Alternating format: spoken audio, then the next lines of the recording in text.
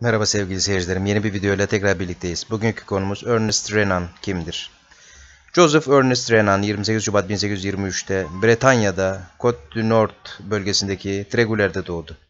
2 Ekim 1892'de Paris'te vefat etti. Denizcilikle uğraşan yoksul bir aileden geliyordu. 9 yaşındayken girdiği Tregouler Kilise Okulu'nu 1838'de bitirdikten sonra din öğrenimini Paris'te Saint Nicolas du Chardon Seminerinde sürdürdü. 1841'de buradaki öğrenimini tamamlayarak İsli Seminerine, 1843'te de Saint Sulpice Büyük Seminerine girdi. Bu dönemde romantik edebiyat, filoloji, İncil, Alman felsefesi, özellikle de Hegel düşüncesi üzerine yaptığı bilimsel incelemelerin Hristiyanlıkla ilgili inancında derin şüpheler uyandırması üzerine kilise dogmatizmini reddederek Ekim 1845'te Tanrı bilim öğrenimini bıraktı. Bir yandan e, hususi bir okulda e, yardımcı öğretmen olarak e, çalışarak diğer yandan tek dostu Fransız kimyacı Berthelot ile düşünsel konularda mektuplaşarak geçirdiği hayatının bu yalnız ve fakir yıllarında Aynı zamanda L'Avenir de la Science, Bilimin Geleceği adlı kitabını da yazdı.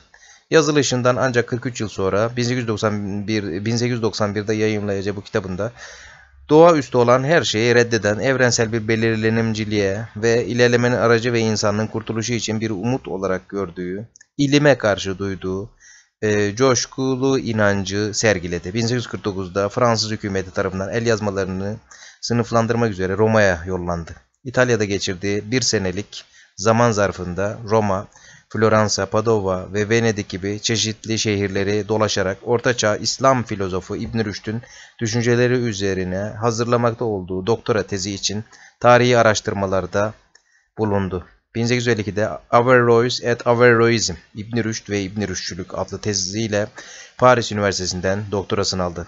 3 sene sonra yayımladığı Histoire Generale et Système Comparé de Langues Semiques Genel Tarih ve Karşılaştırma Sami Dilleri Sistemi adlı kitabıyla Fransa'nın en önde gelen Sami dilleri uzmanları arasına girdi ve hemen ardından öğretim üyesi olarak Yazıtlar ve Edebiyat Fakültesine kabul edildi.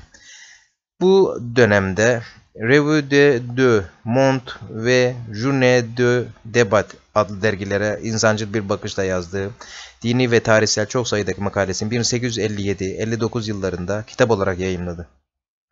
Bu makalelerinden bazılarında 3. Napolyon'un imparatorluk yönelimini, yönetiminin hoşgörüsüzlüğünü eleştirerek, aydınların hümanizmi benimseyerek manevi ve düşünsel olarak arınıp despotluğa karşı direnmeleri gerektiğini savundu. 1860'da arkeoloji incelemelerinde bulunmak için gittiği Lübnan'da Kudüs'ü ziyaret ederek İsa'nın yaşamına ilişkin çalışmasında kullanacağı belgeleri topladı. Fransa'ya dönüşünde Ocak 1862'de Collège de France'da İbranice kursüsünün başına getirildi.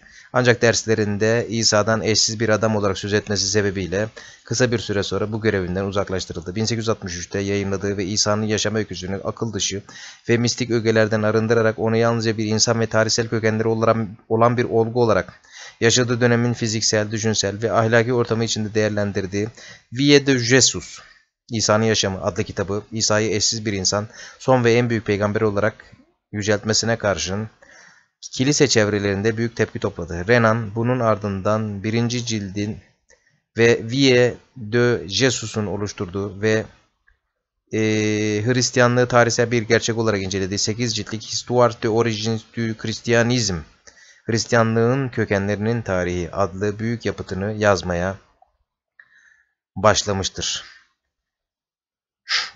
1869 seçimlerinde parlamentoya gitmeyi denediyse de başarılı olamamıştır. Bu dönemde yazdığı siyasi ve makale ve kitaplarında evrensel mutluluğun ekonomik ve siyasi önlemlerle sağlanamayacağı inancından hareketle uygulamada toplumun reformlar yoluyla iyileştirilemeyeceğini savunmuştur idare işlevinin bireyciliği doğurduğunu ileri sürdüğü demokrasinin yerine kitleleri yönlendirme ve e, muhafaza etme yükümlülüğünün bilincinde olan seçkin bir entelektüel zümre ya da yetenekli asiller tarafından yerine getirilmesini yeğlediğini belirtti.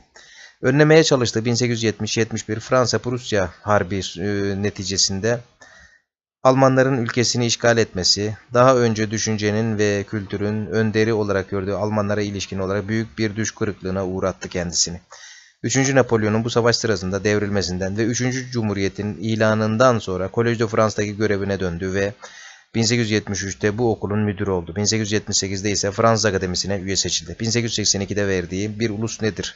adlı ünlü konferansında bir ulus oluşturan bireyleri birbirine kenetleyen bağların ırk, dil, toprak ve hatta tarih birliği gibi ögelerden çok ahlaki ve manevi bilinç olduğunu ileri sürdü. Ayrıca ırkçı düşünceyi aldatıcı bir inanış olarak niteleyerek ırkçılığın güçlenmesinin Avrupa uygarlığını alt üst edeceğini belirtti.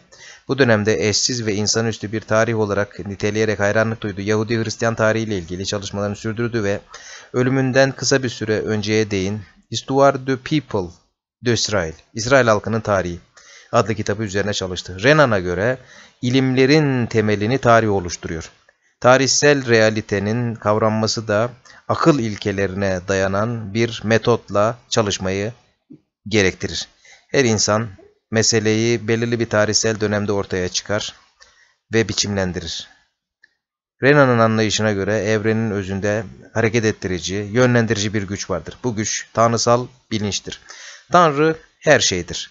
Her şeyde Tanrı'dır. Böylece bir tanrısal varlığı düşünebilmek için kişinin kendini anlaması gerekir. Kendini anlamak ise yetkinliktir. Gerçeği kavramanın son aşamasına varmaktır.